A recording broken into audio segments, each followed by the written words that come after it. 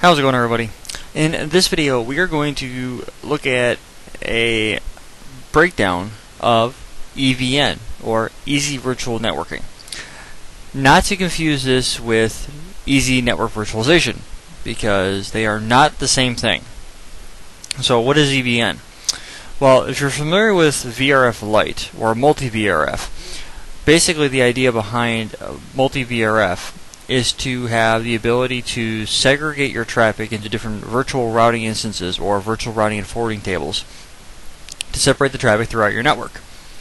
The idea behind it is to have traffic for, say, for instance, your uh, web traffic is going to be separated from your database traffic, which is going to be separated from your, you know, whatever other type of traffic you have. You know, vMotion to your storage to your, you know, whatever the end of the day, the idea is to segregate traffic out. Now, normally, what you're going to do is you're going to separate or segregate your traffic into a virtual local area network or a VLAN. Well, a VLAN is is a way for you to break up a layer 2 switch into multiple virtual local area networks. So you can have different end users into different uh, different ports, having different access to different resources on different parts of the network. I mean, it gets it's pretty straightforward if you if you understand networking. Now a VRF, if you're not familiar with them, a VRF pretty much does the exact same thing. It's a layer three separation. So layer VLAN is layer two to a switch. A it is analogous to the uh, layer three uh, on a on a router to a VRF. So a VRF is to a VLAN what a router is to a switch. So um, that's the general idea of how you would how you break down a VRF. Now, in order for this to work, you need to have traffic segmentation in your network to move forward. Whether that's traffic segmentation based off of maybe you work in a higher education and you have your faculty, you have your staff, you have IT, you have students, and you want to separate all that traffic out, you could do multi VRF. The drawback to this, though, is the fact that you need to do this on a per hop basis. So every interface that you want to run traffic across between routers and segregate all your traffic out, all those devices need to be handled on a per a per um, per hop basis, and it's not just a per hop basis. For every VRF, you need to create a virtual routing and forwarding instance for it. You need to create the interfaces, create the VRFs, place the interfaces in the VRFs, create your route distinguishers, then you get to go in and do all your routing. So there's multiple layers to the to it to get it operational. EVN or Easy Virtual Networking kind of simplifies that whole idea by taking your network and simply assigning some tags to your configuration. So the idea behind it is to actually take the traffic underneath the VRF level and you activate the address family you want to forward traffic for and then you go in and you simply apl apply a VNet tag. A VNet tag is going to be the same idea and capability of a .1q tag in a trunk. So if you're familiar with .1q trunking, that should be pretty easy for most of you under, to understand. A VNet trunk does the exact same thing. It's got the same numbering structure. It was just repurposed to use the same value in the Ethernet header to do the same thing. So you create your VNet tag, whatever value you want to have, and there's no restriction on it as far as I can tell, like you will with the .1q tag or .1q trunks, where you can't assign a certain VLAN ID to a uh, particular interface because the fact that you got those reserved ones, like 1002 through 1005, and you uh, you I believe it starts 2000 through 4094, or sorry, 2 through 4094. So you have those aspects in, uh, come into play with it. So as you're going through and you're setting up your VNet tags, you set it up, and basically what EVN is, from a high-level overview, is simply a macro. Now, if you're not familiar with what a macro is, a macro in Cisco switching is going to be the capability for you to turn a macro on, and it's going to dynamically apply configuration to a particular interface or turn on a particular um, group of code, uh, syntax inside the box to turn a particular feature on. And the same thing if you were to go into a, a Cisco a switch that supports um, AutoQoS, well, that's in itself is kind of a macro because it turns on AutoQoS, it pays attention to DSCP values, it takes a look at uh, shaped round robin and some other features And by simply typing in that command, you automatically turn on the ability to mark your traffic that's coming inbound into the switch port, which by default it does not. If you if you don't tell your switch to be paying attention to uh, layer two or uh, to voice and video markings, so like or I shouldn't even say that. Um, uh, any type of quality of service marking, it's going to remark it to zero and forward it on as just regular traffic, scavenger class. So the idea of the VNet is to allow you to take the configuration and what you do is you create the VRF like you normally would. So you type in your VRF definition. You would go in and then set it up in such a way that you would apply the VNet tag, much in the same way you would assign a um, assign a port to a VLAN.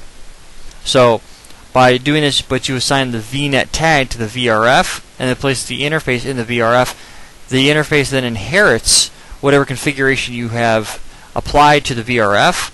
So the you consider the VRF as the parent object, and you can consider the interface to be a child object. The child will inherit whatever the parent has configured. So if you're, uh, I'm a VMware guy, so a lot of that stuff comes into play. Where if you apply it to the data center level, it's only going to apply to the data center level, or if you go to the vCenter level, it'll apply to the vCenter level, uh, much like with the host level and stuff like that. So, gives you a lot of flexibility in how you apply things. So once you've applied that, and then if you want to go from device to device, you would simply go to the interface level that's stating where traffic is going to be forwarding to, and simply type in the, the, the configuration of VNet trunk. And then what that automatically does on the back end, I'll show you this when we get into the config, it actually goes in and it actually macros in the uh, .1q trunks. It goes in and sets up all the applies all the interfaces to the correct VRFs. It sets up the VNet trunks. So it, by using one command, it automatically applies everything you need uh, globally for you. So it, it's a way for it's a simplification or easy virtual networking. That's the idea behind it. So as we walk through here, I want to break down, give you guys some um, uh, a couple of um, pictures, so you guys would be so you guys can figure out exactly how this works. So the first picture I'm going to show you is this one. So this is pretty much this is a PDF I just downloaded from the from the website. I'm just going to zoom in a little bit here for you. The idea behind the VNet trunk is actually really simple. Over here you happen to have three computers. Each one of these is in a different VRF. So we'll say the blue VRF, the yellow VRF, and the green VRF.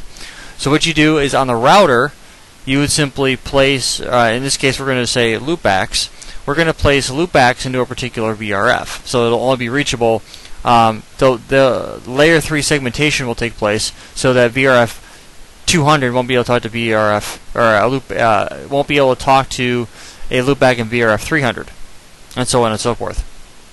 So you place this in here, and at the VRF level, you type in the, the VNet tag. So whatever that number uh, would be, this would be the same thing as you typing in the uh, the uh, switch port access VLAN and whatever the VLAN number would be. So you have that. And then over here on this side, between router 1 and 2, you have this configuration over here. This will be the VNet trunk.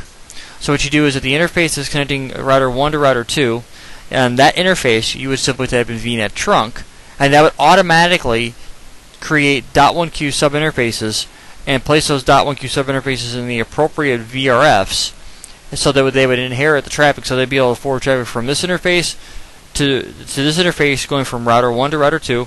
The same thing would be applied over here on router 2's interface.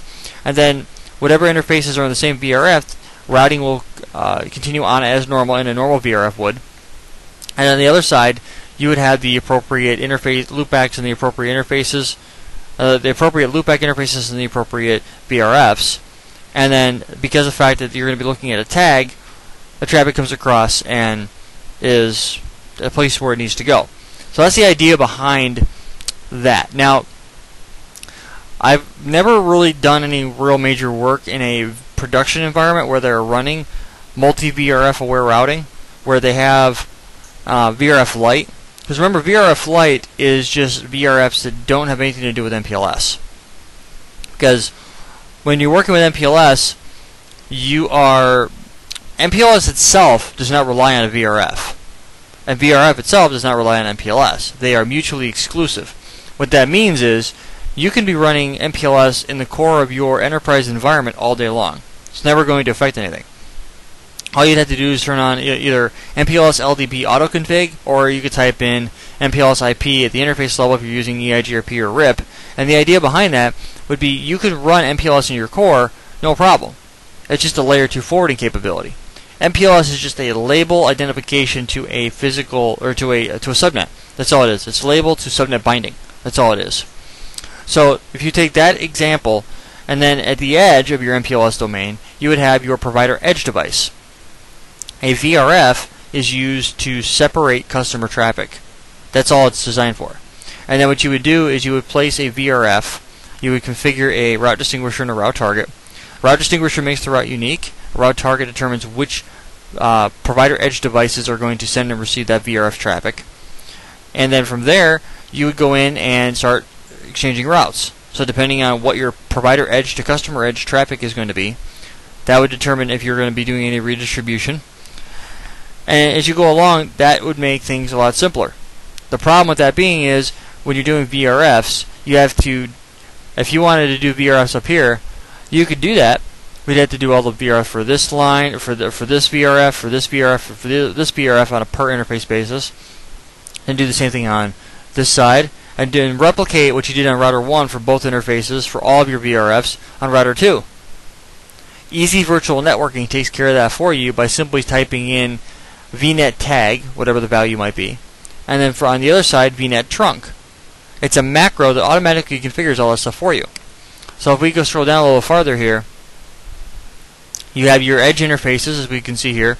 You these these guys would be, uh, be getting the VNet tag because of the fact that you'd be putting those interfaces inside of the uh, the VRF. They would automatically inherit that information, and then the, tr the trunks.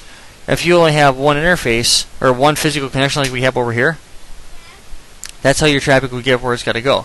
Because if you're down over here in the lower right hand corner, if you look, I've got, I'm going to set it up to we're going to have three separate interfaces on each router, and then we're going to have them in different VRFs, VNet tagged, and then these interfaces connecting these routers together are going to be VNet trunks. That's how we're gonna, that's how we're gonna lab this up and try it out.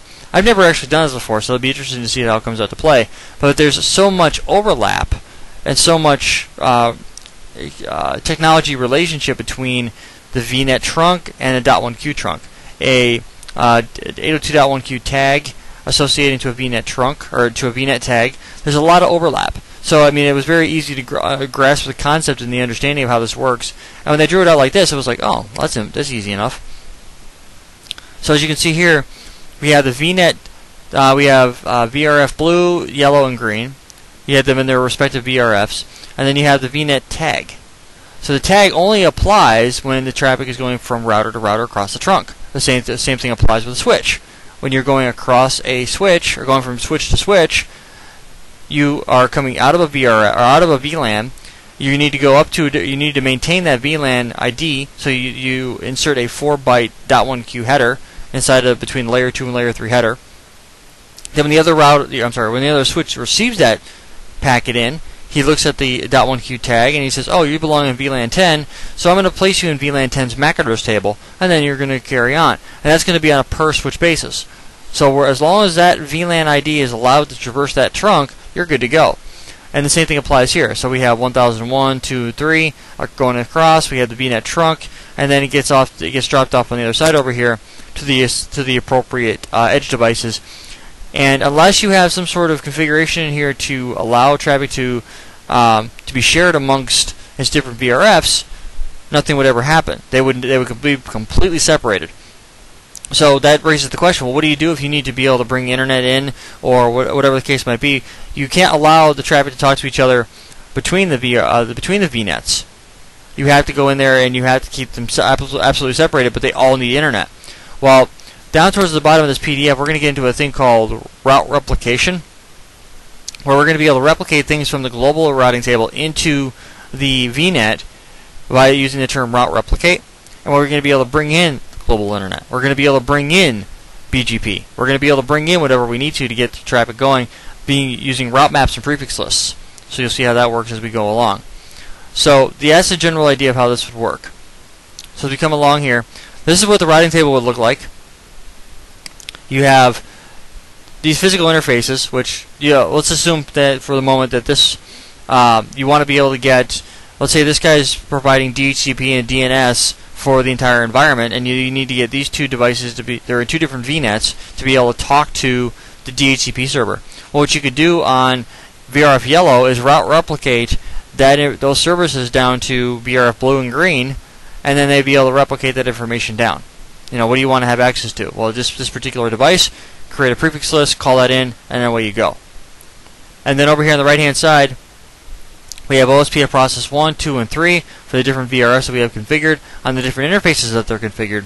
And if you look over here, you'll see that we have uh, plus, this, this plus sign, that's an indication of a VNet. So if you come over here on the right hand side, we have giga 0, 1001 dot Y, G, and um, uh, B, and this is an indication of the different VRFs that they're uh, they're applying to, or I should say EVNs. And if we come down a little bit farther, you see how traffic is going across. Not everything needs to go across, as you can see, and you can get shared services to where you have this guy servicing uh, all these other devices over here that are two and three, four hops away. It really doesn't make a difference how far away the traffic is. What makes a difference is what you're trying to get where. Now I'm going to talk about route replication as we go along here. Um, there are some uh, some issues that we need to pay attention to. It says so for the uh, prefers a route with a better IGP administrative distance. So a lot of the stuff for route redistribution applies here. A better administrative, a better default administrative distance, um, so on and so forth. We're going to do a very very basic setup. We're not going to do anything advanced with route replication. More or less for you to understand the idea behind EVN. But I'm going to get this set up so we can see exactly what this looks like.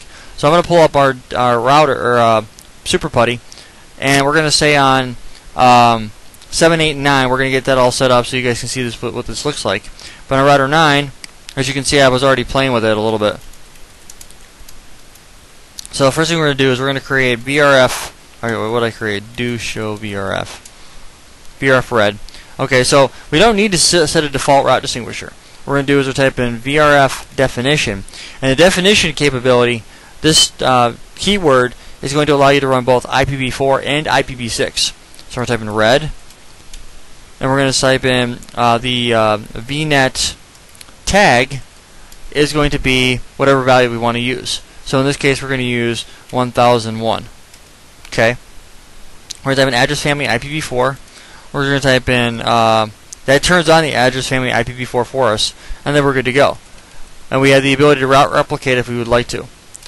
So what we're going to do there, and then do show VRF. There's no default configuration here though. Notice that.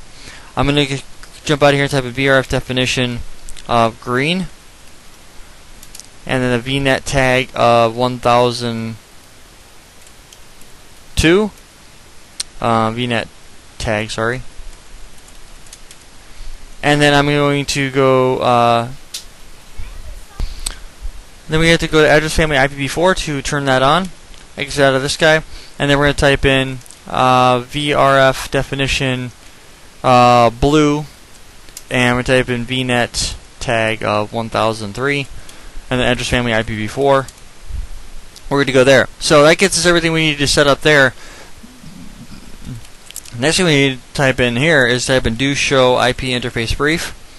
And we type in uh, interface loopback 1001 IP address of we're going to type in uh, 10 dot uh, 1 dot 1 dot 9 slash 24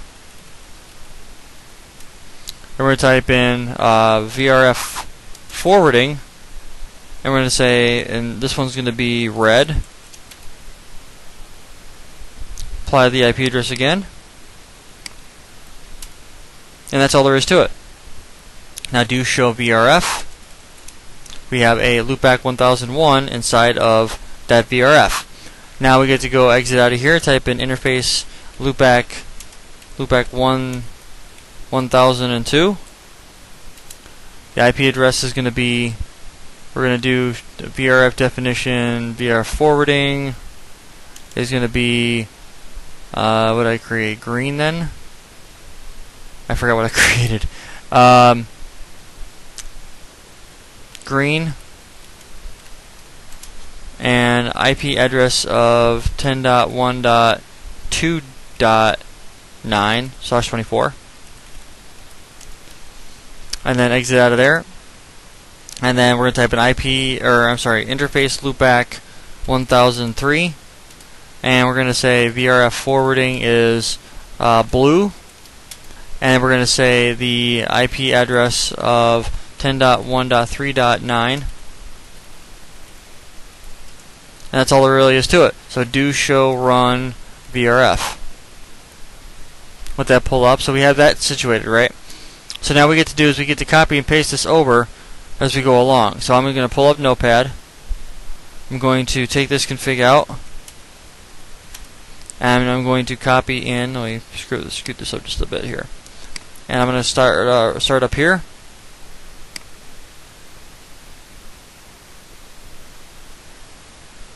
and what I'm going to do is I'm going to copy and paste this in and this is going to give us a little bit of flexibility. And um, the benefit to this though is going to give us the ability to go in here and just create the VRFs and then what we have to do once we create the VRFs in all the devices because we want to speed up the process here this is going to be dot 8 this will be dot 8 and this will be dot 8 and copy and paste that go to router 8 and go to global config right click and paste.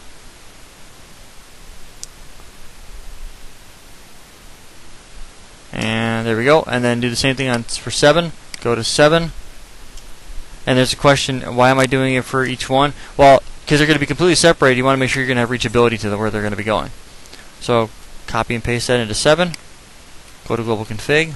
Now in order for this to, to go across, we need to create VNet trunks as well. So I'm going to be copying this in as we go. There we go. So now we get to do is we get to move this off off to the side. I'm going to min minimize that for the moment. And then what I'm going to do is I'm going to bring this guy up. I'm going to cover me up for a moment. And then what we need to do is on interface fast 1 slash 0, we type in uh, VNet trunk and uh, we can hit enter. Now what's going on the back end is we have some stuff going on. Now we type in do show run interface fast 1 slash 0. Nothing's really going on, right? But if we take a look and type in do show IP interface brief pipe exclude UNA, we have these uh, these um, what do you call it? Um, sub interface is created. So do show run interface fast 1 slash 0 dot 1001. Well, here we are. We're we have the configuration pla placed in there. So now what we're going to do is we're going to go in here and we're going to um, do the same thing for fast 1 slash 1.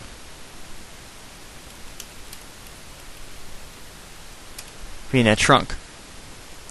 So the configuration is being applied there. And then we're going to go over to router 8 and do the exact same thing.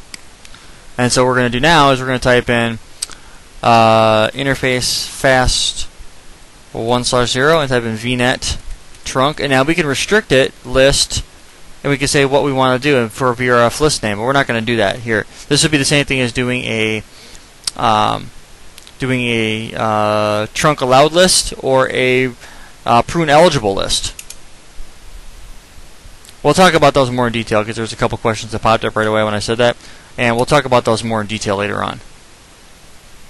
So we got that, and then we're going to go over to 9. Do the same thing. So interface fast 1 slash 1, vnet trunk.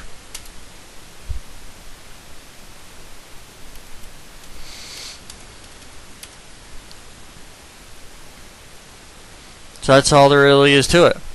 Now what I'm going to do is I'm going to come down here and we have, in order to get routing to work, you have to go in there and you have to turn on VRF aware routing. So what does that mean? We're going to exit out of here. We're going to type in router, since we're using um, a combination of both uh, uh, autonomous system and named mode, router uh, EIGRP C, uh, CCNP, address family IPv4 autonomous system 789 question mark, or uh, sorry, address family, IPv4, VRF, red, and then autonomous system 789. So we want to put them in the same AS but different VRFs. We're going to type in uh, network of 10.0.0.0. And we're going to be able to exit out here. And then do the same thing over here. Type in blue. And then enter. And network. Exit out of here. And then the same thing for green.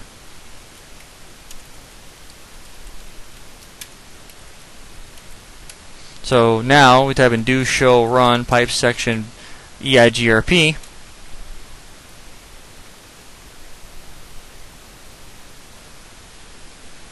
Now we have our VRF configuration. So now I'm going to copy and paste this config. So we have to, let's see here, let me grab, let me grab all this. And we go to pull up Notepad again, bring this guy over, paste this in. Now what we need to do is we need to blow away some of the stuff right here.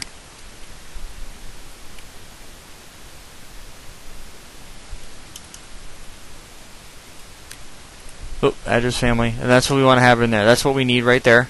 And now we're going to copy paste this into 7, or I'm sorry, into 8. And that should be okay. And so we should form an adjacency over that. I'm going to go to 7 and get that configured as well. So now we need to type in router EIGRP uh, 789 question mark. Or I'm sorry, exit out of here. Router EIGRP 789 question mark. Enter. And we need to type in here address family question mark IPv4 VRF and then red and question mark and autonomous system of 789 and type in network of 10.0.0.0. And the same thing applies here. VRF blue and green.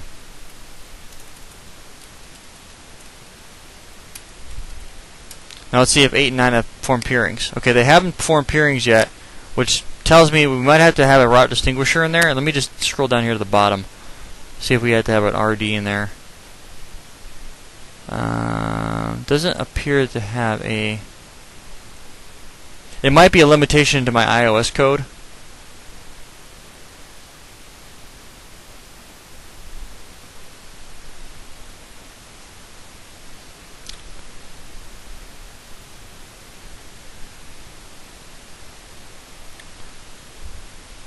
I might need to go down here to let's take a show uh, show IP interface brief I might need to go in here and to these guys and make them dot one encapsulation. So we're going to type in interface fast zero or uh, one slash zero dot one thousand one.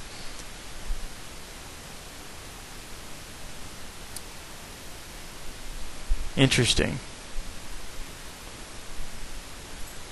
Not manually configurable. So show run do show run interface fast 1 slash 0 dot dot 1001 okay so let's type in interface fast 1 slash 0 and vnet trunk. Um interesting. Oh you know what? Hold on a second. I, I don't uh, let's see. Let's do show derived config interface fast 1 slash 0 dot 1001 that's what I'm looking for right there. So this is what it's doing right here. So what it's doing is it um, it created a description for it, and this is this is where the macro comes into play. We have the .1q1001 VRF red, and so now if I was to type in ping VRF red, um, I'm sorry, red, and type in 192.168.79.7 There it goes. Now it's a little slow, but if I typed in show uh, show IP route for VRF red, um,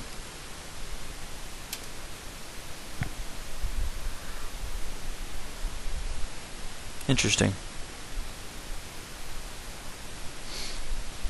Like I said, this is my very first time playing with this, so I'm not 100% sure if this is correct. let's do a uh, show IP protocols.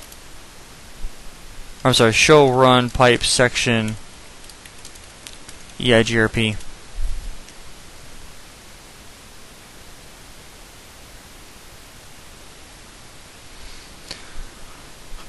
Alright, so we have our network in there. You know, I might need to go in there and specify specify some specifics. So let me go. Let me do. Let me do that real quick. Uh, global global config, uh, router EIGRP, CCNP, and then address family for this guy. Let's go to red for the beginning. I need. I might need to be a bit more specific and type in network of. Um, network of 10.1.1.0 0.0.0.255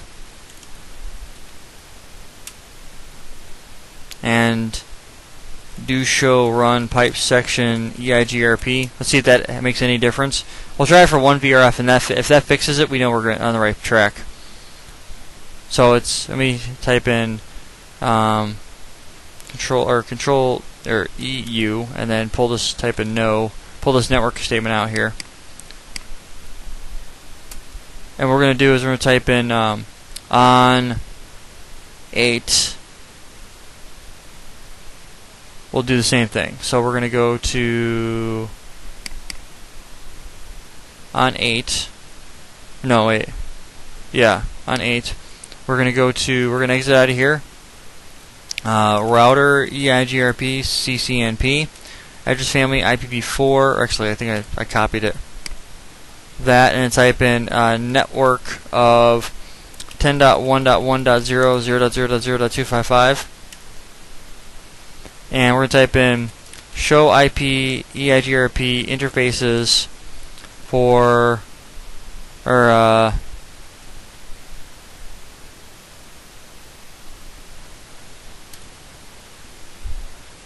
show IP EIGRP so it's it's in there. Show IP EIGRP VRF red interfaces show run interface loopback 1001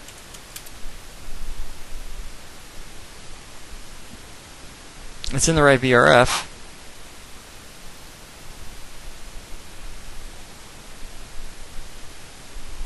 hmm. What am I missing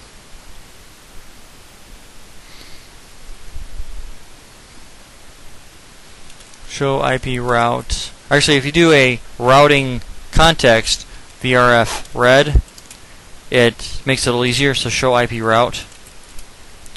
Yeah, it's not pulling in the config. Thinking maybe I need to do specifics. So let's actually let's exit out of here. I wonder if I need to do different configuration for the individual VRF. So like for instance, if I do a show IP route or show IP interface brief, I wonder if it has anything to do with the fact that these are different IP addresses. So let me, but see, it won't let me change the configuration. Maybe I need to, oh, maybe that's the problem. I need to go in there and turn the network command on on those.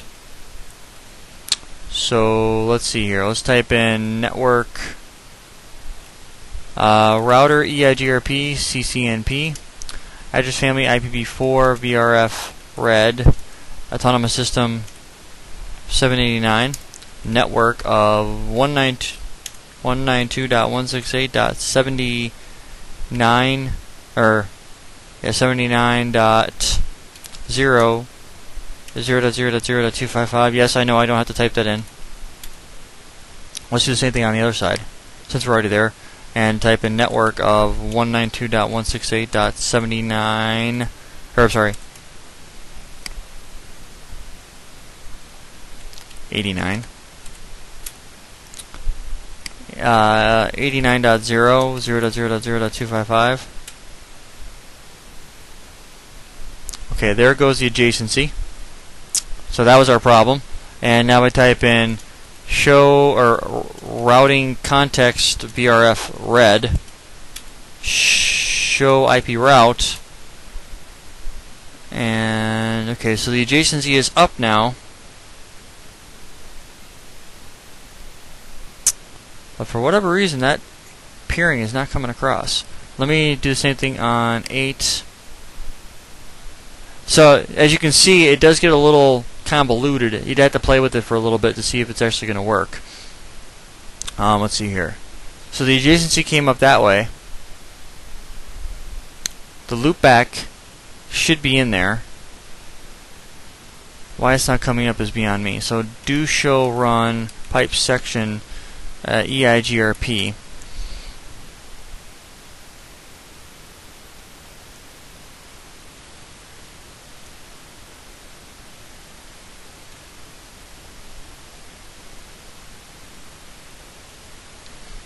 So on 8, we should... Now, that was 9 that I looked at it on.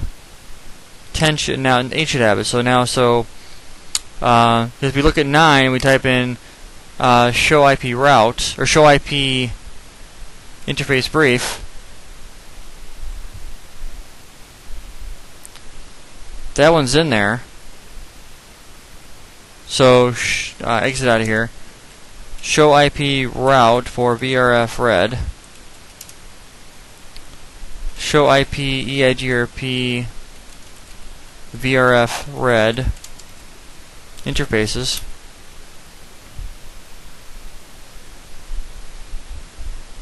I'm not looking for any peers to join, I just want to advertise that route. So now if I go over to 8 and I do a do show IP route VRF red, I do not see any EIGRP routes.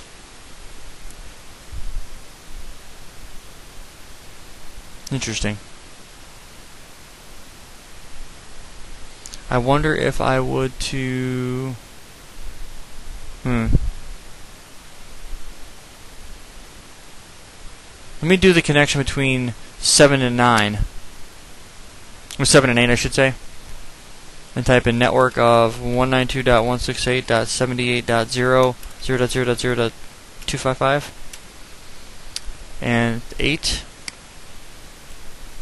do show run pipe section EIGRP.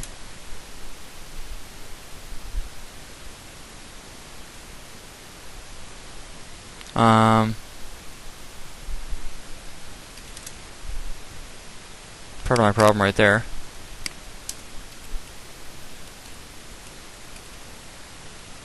Seventy-eight. So I should form an adjacency.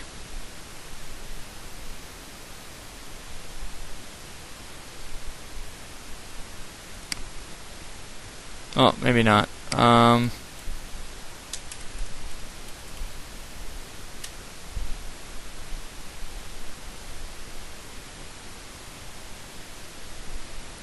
Nine came up right away.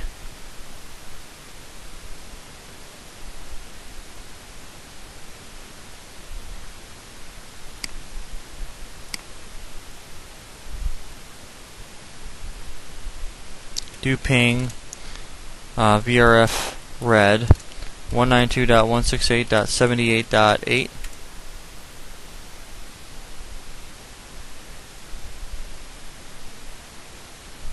Interesting. Do show run pipe section EIGRP. It's a little uh, it's a little easier with the VRF configuration, in my opinion, with some of this stuff. Oh, that's why I'm in the wrong VRF. Um, let me jump over to the right VRF. Let's actually just type in no to a lot of this crap right here. Well, actually, we're going to need it anyway. So, but I want to, since I've already got it configured on the other side, we uh, and type in network of this, but pull this out. That should fix that should fix our connectivity issue. There it goes. Now on 9, show IP route VRF red. And there's our D route. So we have that now through and it's through that I think my code is just a bit dated, but see it shows where it's coming from, which is good. Now if I did a trace route, trace VRF red to 192.168.78.7, it is going the right direction. And it does show you where it's going via red. Just doesn't show you the, the plus sign. So I think in newer code, that's what the problem is. But that right there, ladies and gentlemen, is the EVN. It's supposed to be, as you can see, it took a couple seconds for it to trigger, but you still have to have reachability between your networks. So, um, the problem I'm seeing here is I'm not seeing the 10.1, the 10.2, things like that. I don't think they're going to pick up on that. I'm not sure if a loopback applies, so I think I might have to go a little farther with it. But at the end of the day, it still makes sense. You still get the route in there, which is a good sign. So that's pretty much what I wanted to show you. But remember, the VNet tag identifies the uh, is the the qualifiers, and then as long as you have a um, interface in the right inter as long as you have an interface in the right VRF, it'll form an adjacency on that VRF, as you can see. So that's how that would work. So I hope this has been informative for you, and I do thank you for viewing.